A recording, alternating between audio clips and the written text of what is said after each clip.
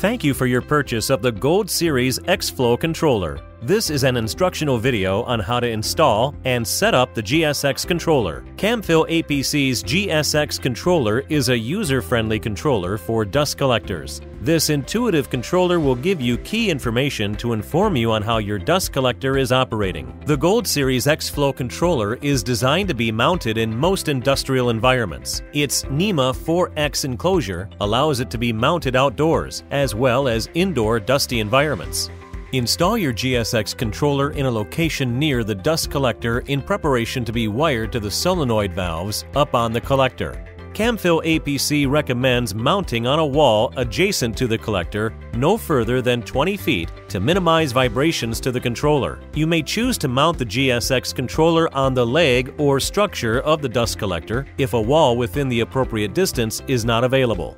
Do not install these controllers in hazardous environments without suitable protection. Do not install this unit in an area of high vibration. Do not install this unit close to strong magnetic fields. Do not install conduit entries in the top of the controller. Conduit entries should always enter the bottom of the enclosure to avoid moisture from entering the controller.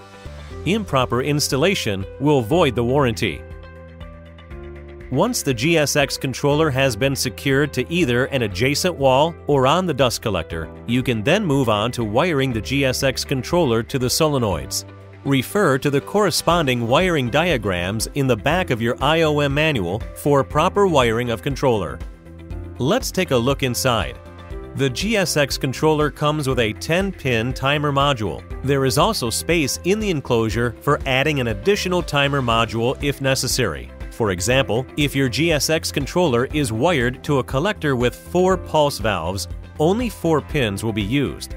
If you have more than 10 pulsing valves, an additional slave board will be required. If you have a unit that has more than 20 valves, you will start over at the number 1 pin. For example, if you have 24 valves, number 21 through 24 will be in pin 1 through 4. These valves will be pulsed simultaneously, meaning number 1 and number 21 will pulse at the same time. Now run pneumatic tubing from the pressure taps located on the GSX controller to the dust collector. Run one to the dirty or high pressure side and one to the clean or low pressure side. These tubes are necessary to monitor the pressure differential across the collector. Now that the controller has been installed, you're ready to move on to the controls.